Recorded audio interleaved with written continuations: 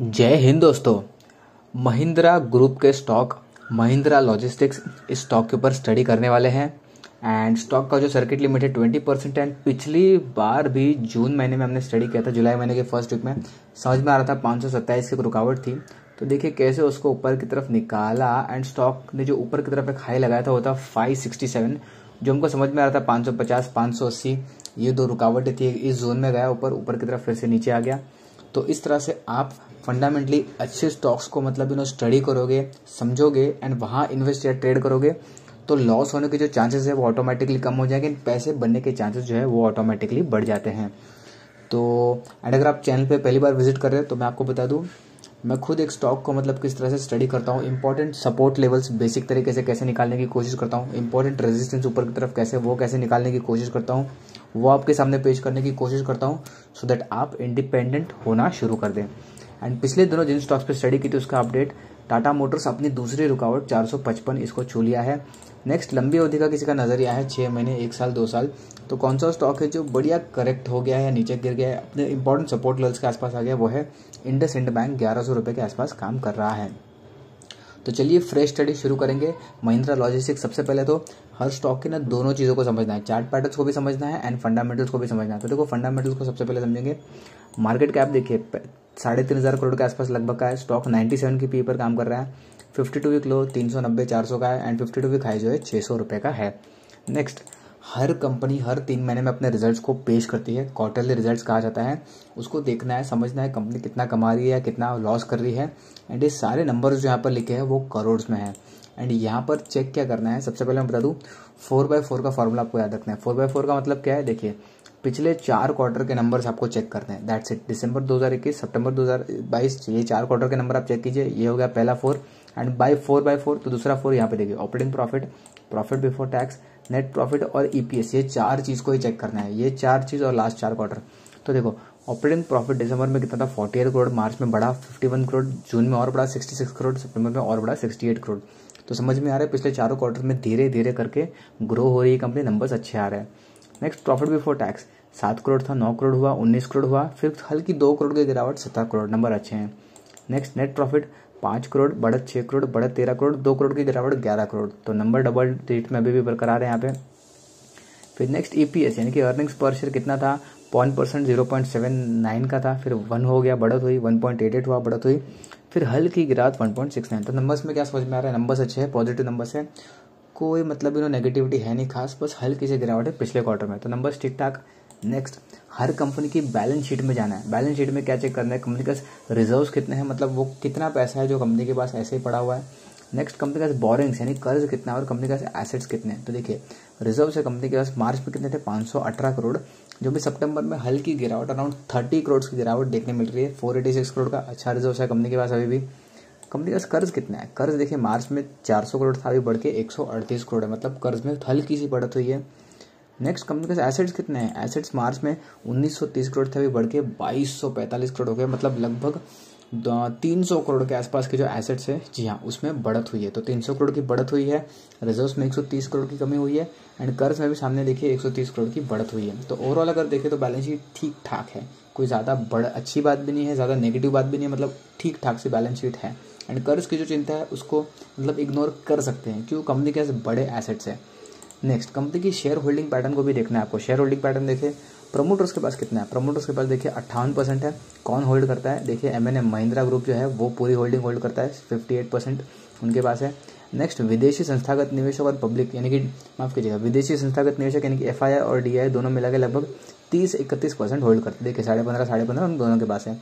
Next बाकी का बचा हुआ हिस्सा लगभग साढ़े दस, ग्यारह परसेंट पब्लिक के पास यानी कि रिटेल इन्वेस्टर्स होल्ड करते हैं। तो शेयर होल्डिंग पैटर्न भी अच्छी है। तो ओवरऑल हमको क्या समझ में आया साढ़े तीन हज़ार करोड़ का मार्केट कैप है। नाइन्टी सिक्स की महँगी पी पर स्टॉक प्रेजेंटली काम कर रहा है। क्वार्टरली रिजल्ट्स हमने चेक किए, बढ़िया है। नंबर्स अच्छे हैं, कोई नुकसान की बात नहीं, हल्की सी गिरावट है पिछले क्वार्टर में। बैलेंस शीट अच्छी है, बढ़िया एसेट्स है, बाईस सौ करोड़ के उसके सामने। छोटा कर्ज है पाँच सौ, कितने करोड़ का? पाँच है पाँच सौ अड़तीस करोड़ का कोई दिक्कत की बात नहीं है। रिज़र्व भी अच्छे हैं शेयर होल्डिंग पैटर्न अच्छी है, अट्ठावन percent M and M group के हाथ में है। And F I D I s thirty thirty one percent and public के पास साढ़े दस, ग्यारह परसेंट। नाउ चार्ट पैटर्न्स पर आने वाले दिनों में क्या एक्शन हो सकता है, उसको डी कोड करने की कोशिश करेंगे सारे लेवल जो है उसको भी हम अपडेट करेंगे। सबसे पहले तो मैं बता दूँ, पिछले दिनों स्टॉक जो है देखिए, एक हाईलाइट करता हूँ यहाँ पे। स्टॉक बार बार देखिए कौन सा वो लेवल है जहाँ पे बार बार सपोर्ट ले रहा है। देखिए, ये लेवल जो है इसको देखिए। बार बार जो इस लेवल के आसपास सपोर्ट ले रहा है। कहने का मतलब ये है, इसके नीचे अगर स्टॉक बंद होता है ना तो स्टॉक में बड़ी रुकावट गिरावट देखने मिल सकती है। तो ये जो लेवल है, काफ़ी इंपॉर्टेंट है। एज अ स्टॉप लॉस सारे ट्रेडर्स यूज़ कर सकते हैं। स्टॉक जो है, इस लेवल के आसपास आके क्यों रुका? बिकॉज़ देखिए, पिछली बार भी जब स्टॉक गिर रहा था, जुलाई महीने में तो उसी लेवल के आसपास सपोर्ट लेके फिर से उछला था। तो आई होप आप समझ पा रहे हो कि इस लेवल का इंपॉर्टेंस क्या है। एंड लास्ट टाइम जब ये स्टॉक ने लो लगाया था, वो था उन्नीस दिसंबर के आसपास, साढ़े चार सौ के आसपास लो लगा के फिर से उछला था। तो ओवरऑल नीचे की तरफ़ जो एग्जैक्ट लेवल निकल के आ रहा है जो क्लोजिंग कह सकते हैं हमको वीकेस्ट क्लोजिंग है वो क्या है? वो है ये। जल्दी से आपके सामने लिख दो। It is four hundred and fifty seven चार सौ सत्तावन रुपये ये सबसे वीकेस्ट क्लोजिंग है इस लेवल की, इसको ध्यान में रखना है। अब ये स्टॉप लॉस किसके लिए है? वो उन ट्रेडर्स के लिए जो कुछ दिनों के लिए पोजीशन बनाते हैं, ठीक है? जैसे पाँच दिन, सात दिन, दस दिन जो पोजीशन होल्ड करते हैं, उनकी मैं बात कर रहा हूँ। चार सौ सत्तावन रुपये ये सबसे कमज़ोर क्लोजिंग है। इसके नीचे स्टॉक बंद होगा तो दबाव जो है आपको देखने मिलेगा। नेक्स्ट अभी स्टॉक जो है ऊपर की तरफ़ रुकावट कहाँ फेस कर रहा है? देखिए स्टॉक जो है एक पर्टिकुलर रेंज में काम कर रहा है। अगर आप रेगुलरली हमारा चैनल देख रहे होगे स्टडीज़ फॉलो कर रहे होगे तो आपको पता होगा, मैं ऐसे स्टॉक्स हमेशा पेश करने की कोशिश करता हूँ जो एक पर्टिकुलर रेंज में फंसे हुए हैं एंड फंडामेंटली अच्छे स्टॉक्स हैं। तो यहाँ पर देखिए दिसंबर महीने की शुरुआत में एक रेंज में आया, नीचे साढ़े चार का सपोर्ट बनाया, ऊपर गया, फिर से नीचे आया, फिर से वहाँ जाने की कोशिश कर रहा है। इनफैक्ट आज का हाई है पाँच सौ रुपये के आसपास फोर नाइन नाइन तो ऊपर की तरफ़ जो रुकावट है वो क्या है? एंड उसके ऊपर बंद होना ज़रूरी है स्टॉक को। लेवल क्या है? लेवल है पाँच सौ तीन दशमलव पच्चीस रुपये five zero three point two five इसको ध्यान में रखना है। कौन से दिन की हाईएस्ट क्लोजिंग है? वो है थर्ड जैन तीन जनवरी 2023 की क्लोजिंग है। इसके ऊपर बंद होना बहुत ज़्यादा ज़रूरी है। इसके ऊपर बंद होगा तब अच्छी तेज़ी देखने मिलेगी। अब पाँच सौ तीन रुपये का इंपॉर्टेंस और क्या है ट्रेडर्स के लिए? उसके आसपास जब स्टॉक जाएगा ना प्रॉफिट बुक करने में समझदारी है, क्योंकि उस रेंज के आसपास दबाव देखने मिल रहा है। एंड देखिए दिसंबर महीने से उसके ऊपर बंद नहीं हो पा रहा मतलब दिसंबर महीने की शुरुआत में वहाँ से स्लिप हुआ, नीचे आया, फिर से उसके पास गया, उसके ऊपर ध्यान नहीं पा रहा है। अगर गया उस रेंज में एंड नीचे की बाइंग है, चार सौ साठ, पैंसठ, सत्तर की तो पाँच सौ अगर मिल गया तो निकल जाइए, थोड़ा मुनाफा लेके। दैट्स इट ट्रेडर्स की बात कर रहे हैं, जो कुछ दिनों के लिए पोजीशन बनाते हैं। अब आने वाले कुछ महीनों की बात करेंगे। अगर पाँच सौ तीन दशमलव पच्चीस इस लेवल के ऊपर बंद होना शुरू करता है, कुछ दिन लगातार बंद होता है तो आने वाले कुछ महीनों में जिस रेंज में स्टॉक जा सकता है, वो है सबसे पहले साढ़े पाँच सौ एंड फिर छः सौ रुपये याद रखिए स्टॉक की सर्किट लिमिट ट्वेंटी परसेंट है। साढ़े पाँच सौ और छः सौ यहाँ तक स्टॉक जा सकता है, इस रेंज में स्टॉक जा सकता है, इसको छू सकता है, शर्त क्या है? पाँच सौ तीन दशमलव पच्चीस इसके ऊपर बंद होता है तो नेक्स्ट लंबी अवधि के लिए किसी को इन्वेस्टमेंट करना है लेवल सिमिलर है, चार सौ या तीन सौ रुपये उस रेंज के आसपास मिलता है। लेवल थोड़े दूर लगेंगे बट हाँ बीस परसेंट की सर्किट लिमिट फिर से कह दूँ है। करेक्शन होता है तो small cap mid cap stocks में करेक्शन ज़्यादा गहराता है, इसको मत भूलिएगा। ओके तो 400 300 इस रेंज में मिलता है। लंबी अवधि का नज़रिया है छः महीने, एक साल, दो साल, तीन साल तो इन्वेस्टमेंट कर सकते हैं।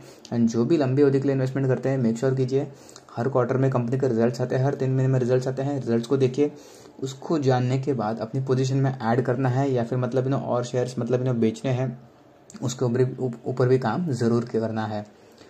तो फ्रेंड्स स्टडी आपको पसंद आई है स्टडी को लाइक ज़रूर कीजिएगा, ऐसी और सिंपल सरल स्टडीज़ देखते हैं तो प्लीज़ चैनल पे दूसरी स्टडीज़ भी अपलोड कीजिए, उसको चेकआउट ज़रूर कीजिएगा। एंड स्टॉक मार्केट से रिलेटेड अगर कोई सवाल है तो प्लीज़ कमेंट सेक्शन के द्वारा जुड़िएगा हमसे ज़रूर। जो भी लॉजिकल सवाल होंगे, उनके जवाब दिए जाएँगे आपको।